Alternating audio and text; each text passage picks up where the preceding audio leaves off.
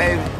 Uh, Christian D on my shoes, they cost a band. I probably won't wear again. Lil Mizzle just came on the news. I'm thinking, damn, he back in trouble again.